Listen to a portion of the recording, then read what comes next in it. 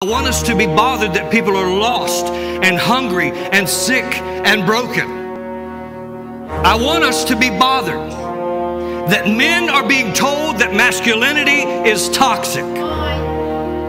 And women are being told in this culture, you don't need a man.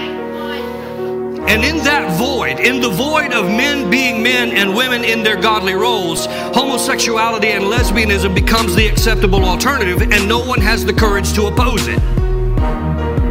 Oh, y'all gonna get quiet on me. I told you I was gonna bother you.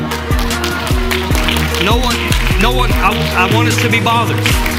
I want us to be bothered that marriage is on the decline. We don't think about that, but it is bothersome. This is God's original design. A man shall leave his father and mother, shall cleave to his wife, and they two shall become one flesh. It is not, let us just test the waters and live together for a while and see. Marriage is on the decline. God says we need to bring that back. I want us, I want us to be bothered.